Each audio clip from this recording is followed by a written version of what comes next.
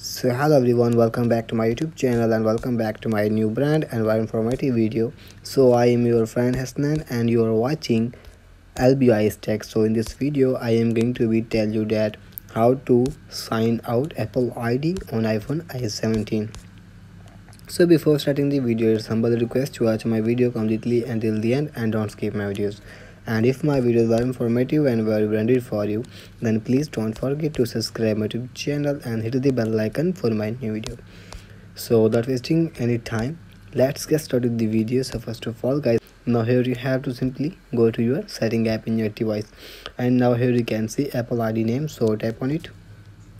And after tap on it here you have to simply scroll it down. Scroll it down. Now here you can see sign out option. So type on it and after that here you can see apple id password is required here. So here i will uh, enter the apple id password.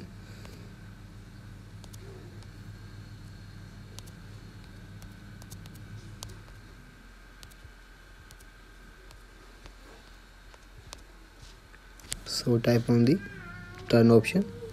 And after that here wait some second loading is right now my apple id is sign out. So type on the sign out. And after that here you can see are you sure it may take a minute to remove your icloud data from this iphone? So here you have to type on the sign out option if you want to sign out your apple id so type on this. And after that here you can see loading right now removing removing icloud data